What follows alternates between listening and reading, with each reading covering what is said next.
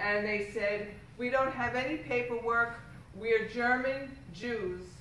And I can only assume, if, even though nobody's ever told me this, maybe you might know something about this, Anthony.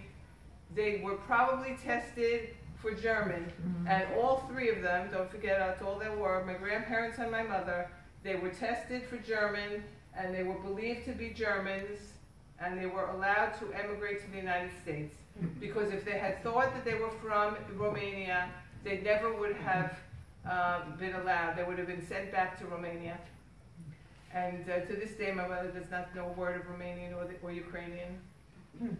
It's a beautiful question. Carol, you wanted to say some, something about photographs? Oh, oh, thank you for, I'm so, thank you, thank you for reminding.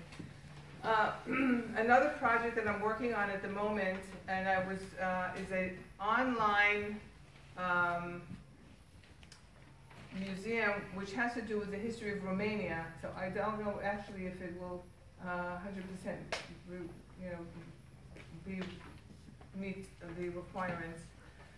Um, if there is anybody here that has any background and would be interested in supplying any photographs or stories, if there are any, maybe I should just ask if there are any. I have on my, my handout, my email, and also, first of all, anybody at any time who would like to contact me, please feel free. You see my email at the bottom, you have my references, and that's my other article at the bottom. You can please click onto that at any time if you'd like to read my other article. the, there's an online museum for Romanian history that's being developed, and they requested anybody who'd be interested in supplying photographs to this online museum. You may be in touch with me, and I can further advise you if you'd like. And that's, thank you for reminding me of that. Okay, let's give her a for.